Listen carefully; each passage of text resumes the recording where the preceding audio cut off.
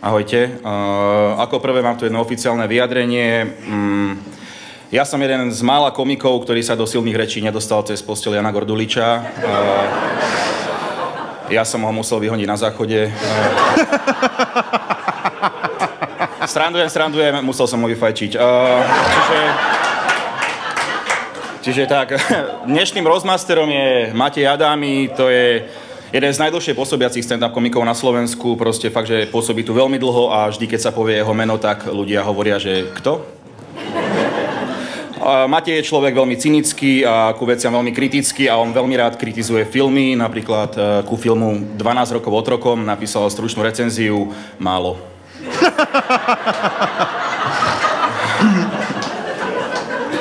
A, a akože máte, no, on je fakt veľký zmrt, on je, on je skurvený zmrt, ty vole, že on keby, on keby bol ministrant, tak on láka farárov na Fidorku, chápeš? Že, ako, že...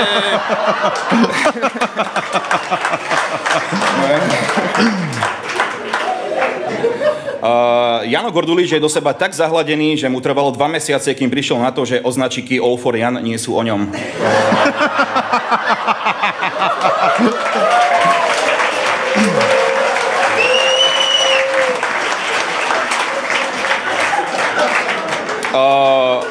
meno, Jan, meno Jan znamená, že Boh je milostivý. A na Janovi môžeme vidieť, že Boh má v piči. Uh, Jana si hlavne pamätáme ako poštara Janka z Pošty pre teba. Uh, odvtedy je povolanie poštara na Slovensku brané ako podradné a vraví sa, že zvládne ho každý kokot. Uh, o Janovi sa na jednej webovej stránke píše, je prototypom ambiciozného mladíka, ktorý rád pracuje na tom, čo ho baví a pozná svoju cenu a vie sa chopiť príležitosti. Táto veta zavádza viac ako Zema vek. Uh, jeho kariéra začala už v 17 rokoch v dubbingu, keď prekladal známe seriály, jedným z nich boli Priatelia. Uh, bolo to aj jediné obdobie, kedy Jano mohol povedať, že má nejakých priateľov. Ďalej sa Jano podielal aj na preklade show Billa Cosbyho, uh, vtedy si Jano začal predstavovať, aké by to bolo mať služobníctvo. Ten je dobrý. Uh,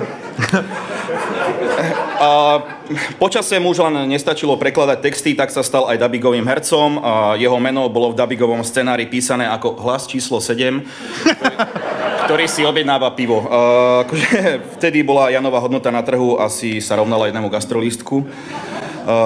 Po týchto skúsenostiach si povedal, že zvládne písať aj vlastné seriály a tak sa scenaristicky, podie, scenaristicky podielal aj na seriáloch Mastory a Profesionáli.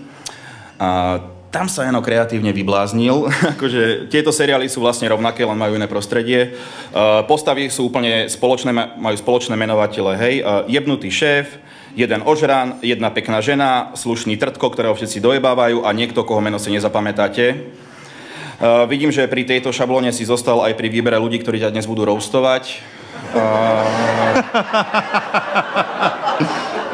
teda až na tú peknú ženu, hej. Uh, Tomáš Hudák túto úlohu úplne nezvládol. No.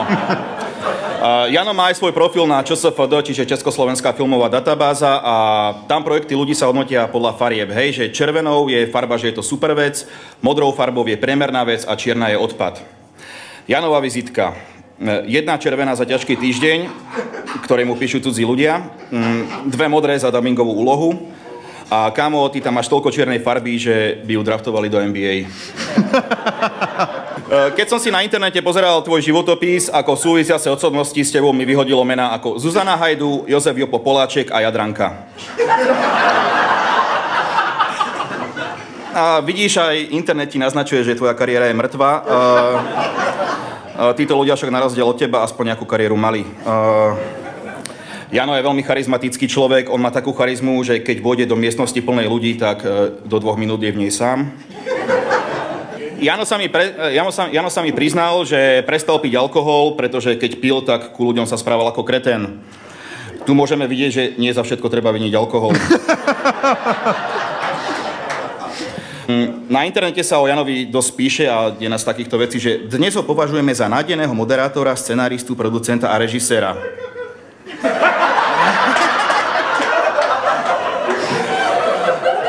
Tu môžeme vidieť, akú obrovskú škálu má slovičko nádejný. Uh, Jano, ak ty si nádený v týchto veciach, tak Freddie Mercury má stále nádej vylečiť sa z ajcu.